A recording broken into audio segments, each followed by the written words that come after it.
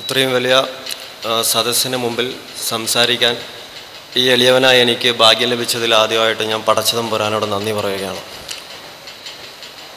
തീർച്ചയായിട്ടും ഞാനൊന്ന് ഓർക്കുന്നു. ഇപ്പം എനിക്ക് കിട്ടിയ ഫീഡ്ബാക്ക് ഫോമിൽ ഒന്ന് ചോദിച്ചിട്ടുണ്ട്. എം എസ് എം ഇങ്ങനെയുള്ളൊരു ഒരു പ്രോഫ്കോൺ സമ്മേളനം നടത്തിയതുകൊണ്ട് എന്തെങ്കിലുമൊക്കെ സംഭവിക്കുവാണ്. അപ്പോൾ തീർച്ചയായിട്ടും എന്റെ മനസ്സിൽ വന്നൊരു വാക്ക് ഞാൻ അവിടെ കുറിച്ചിട്ടു. ഷുവർ ആൻഡ് സെർട്ടലി തീർച്ചയായിട്ടും. നിങ്ങൾക്ക് ഒരു വിപ്ലവം തന്നെ സൃഷ്ടിക്കാൻ പറ്റും. അത് ഏത് രീതിയിലുള്ളതാണെന്ന് നമ്മൾ തീരുമാനിക്കാം. പക്ഷേ ഈ ഒരു ആനന്ദമുഹൂർത്തത്തിൽ എനിക്ക് പറയാനുള്ളത് നമ്മളെല്ലാം പിരിഞ്ഞു പോവുകയാണ്. എന്റെ സ്വന്തം അനുഭവം വെച്ചിട്ട് ഞാൻ പറയാം. ഇത് സത്യത്തിൽ എം എസ് എമ്മിന്റെ ഈ ഒരു സമ്മേളന നഗരിയിൽ നമ്മൾ ഇരിക്കുകയാണ് സംബന്ധിച്ച്. പക്ഷേ പല മെന്റാലിറ്റിയുമായിട്ട് വന്നവരുണ്ടാവാം. ഈ ഉള്ളവനും അങ്ങനെ തന്നെയാണ് ഈ ഒരു പരിപാടിക്ക് മുമ്പ് പങ്കെടുത്തിട്ടുള്ളത്. പക്ഷേ എന്നെ ഏറ്റവും അല്ലെങ്കിൽ എന്റെ സുഹൃത്തുക്കൾ ഏറ്റവും കൂടുതൽ ഇവിടെ അട്രാക്ട് ചെയ്തിട്ടുള്ള ഒരു കാര്യം എന്തെന്ന് വെച്ച് കഴിഞ്ഞാൽ തീർച്ചയായിട്ടും ഇവിടെയുള്ള ഈ സംഘാടകരെ ഇതിനു വേണ്ടി പ്രയത്നിക്കുന്ന ആളുകൾ അവരുടെ ആ ഒരു മനസ്സാന്നിധ്യവും ഒരു ആത്മാർത്ഥ്യവും കാണുമ്പോൾ തികച്ചും ഭൗതികമായിട്ട് ഒന്നും ആഗ്രഹിക്കാതെ നമ്മൾ പടച്ചവന്റെ അടുത്ത് കൈച്ചലാവണം എന്നുള്ള ഒരു ആഗ്രഹത്തിന് വേണ്ടി ഒരു കൂട്ടം ആളുകൾ ശക്തമായിട്ട് ഇങ്ങനെ പ്രവർത്തിക്കുമ്പോൾ തീർച്ചയായിട്ടും ഇങ്ങനൊരു സംഭവം ഈ ലോകത്ത് വേറെ ഇവിടെ ഉണ്ടാവില്ല. അത്രയും വ്യത്യസ്തമായി നമുക്ക് വേണ്ടി പ്രവർത്തിച്ച് പടച്ചവന്റെ അടുത്തുള്ള ഹിദായത്തിന്റെ ഒരു റോഡ് അല്ലെങ്കിൽ ഒരു വഴി നമുക്ക് മുമ്പിൽ ഇങ്ങനെ തുറന്നു കാട്ടുമ്പോൾ നമ്മളിൽ ആർക്കെങ്കിലും അത് തിരസ്കരിക്കേണ്ടി വന്നു കഴിഞ്ഞാൽ മഹത്തായ വിപത്തായിരിക്കും. ഇവിടെ വന്നുപോയ നമുക്ക് കിട്ടിയിരിക്കുന്ന നോളജ് അത് ഭയങ്കരമായ ഒരു വല്ലാത്ത ഒരു വിപ്ലവമാണ്.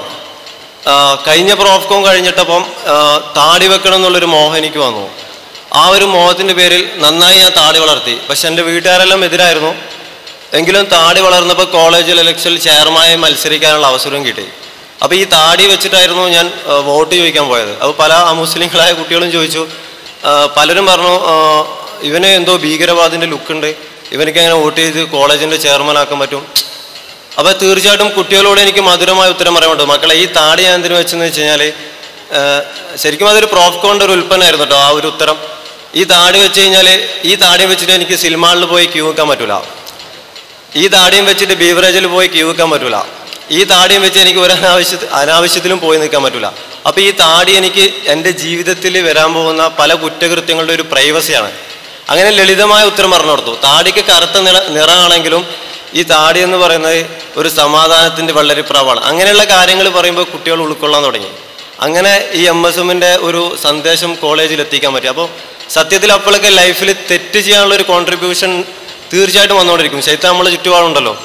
പക്ഷേ ഈ എം എസ് എമ്മിന്റെ ഈ ഒരു വല്ലാത്ത ഒരു അട്രാക്ഷൻ നമ്മളെ വല്ലാതെ എന്താ പറയുക ഓരോ നിമിഷവും അത് ഇവിടെ നിന്ന് പറയുന്നത് കേട്ടു. നമ്മൾ ഒരു ഒരു സംഭവം കണ്ടിട്ട് തെറ്റ് ചെയ്യാതെ കണ്ണടച്ച് നിൽക്കുകയാണെങ്കിൽ ഭയങ്കര പാടാണ് ഭയങ്കര പാടാന്ന് പറഞ്ഞാൽ ഭയങ്കര പാടാണ് ഒരു തെറ്റ് ചെയ്യാതെ അതിൽ നിന്ന് ഇങ്ങനെ മാറി നിന്ന് ഇങ്ങനെ ഒരു അഞ്ച് മിനിറ്റ് നിൽക്കുമ്പോൾ തന്നെ മനസ്സ് ഭയങ്കര കോൺട്രിബ്യൂഷൻ ആയിരിക്കും.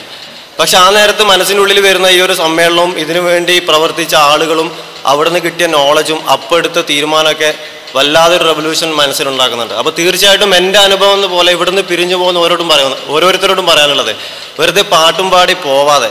ഇവിടുന്ന് കിട്ടിയ നോളജ് ഇത് വളരെ വ്യത്യസ്തമായി കിട്ടിയ നോളജാണ് വേറൊരു സംഘടനയിൽ നിന്നും വളരെ എന്റയർലി ഡിഫറൻസ് ആയിട്ട് എം എസ് എമ്മിന്ന് തനിക്ക് കിട്ടിയത് എത്രത്തോളം വ്യത്യസ്തമാണെന്ന് മനസ്സിലാക്കാം.